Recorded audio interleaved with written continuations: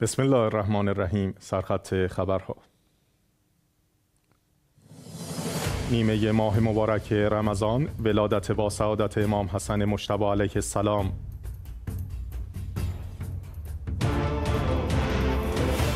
طرح ویژه ایام شهادت امیرالمؤمنین علی علیه السلام در نجف اشرف و آیت الله العظما شیرازی قرض گرفتن برای معالجه بیماری که امکان روزه گرفتن از او سلب شده اگر به مقدار مختصر بوده و انسان دچار منت و زحمت نمی شود اشکال ندارد وگرنه اصل در عدم آن یعنی قرض نگرفتن است.